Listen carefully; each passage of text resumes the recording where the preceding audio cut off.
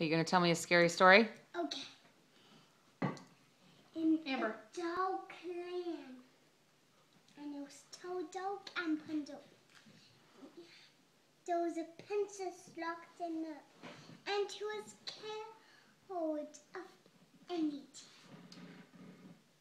She was scared or was not scared? Was. Oh, she was. and Okay. he was named not Babe Flower.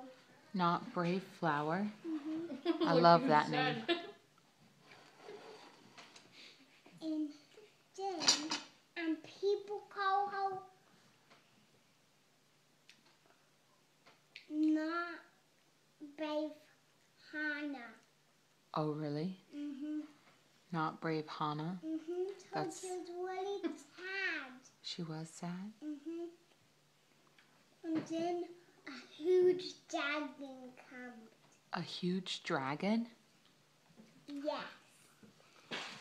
And then he got up. How? He picked her up. Mm-hmm. Oh my. And she had a beautiful red dress. She had a beautiful red dress. like the water mom. Yes. but not any teeth. No, she didn't have seeds in her. That's good. And then what happened next? And then a storm comes. A storm and came. She died. Horrid. And then she died.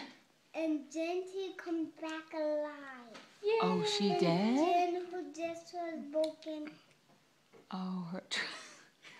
I think that Samantha's just telling a story about it. Her dress was broken. Oh, did that make her really sad? No. And Oh. she texted it. Oh, she fixed it